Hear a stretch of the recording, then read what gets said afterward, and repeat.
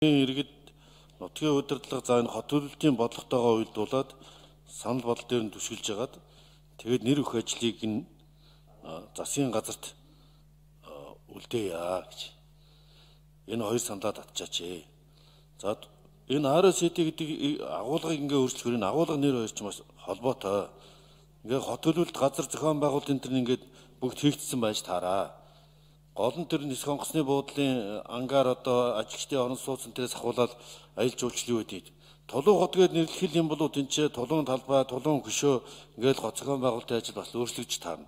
Шин 100 мод гээд нэрлэх юм бол 100 модтойгоо яаж холбогдох юм бас л хот төлөвлөлтийн ажилд нь өөрчлөлт орж таарна. Тэгээ нарийн чөтгөр деталь нуугдж идэг гэдэг энэ деталь зохион байгуулалтын ажил нь бид ерөнхий хот байгуулах шийдлийг өгч байгаа ш. Тэр нь юу гэж нэрлэх үү?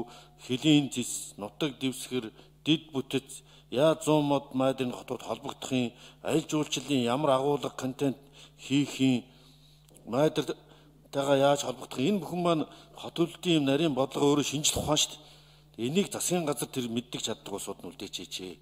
Өнөөдөр тэрнийг гэрсэн гэж нэрлэе, Чингис гэж янз бүрийн санал гаргаад ингээд өөр өөрийн өнцгөөс хараад тайлбарлаад байвал мянган аргумент хэлж болно.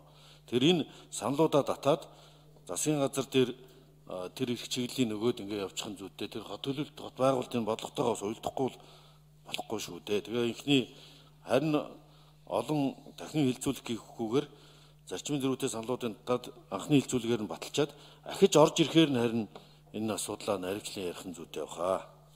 Ийм санал түрүүнээс шилээд байгаа.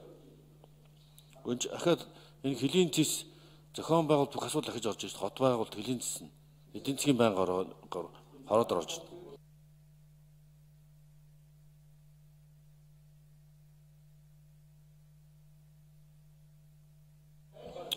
За энийг хөлтөш шүү. Дараад нь. За.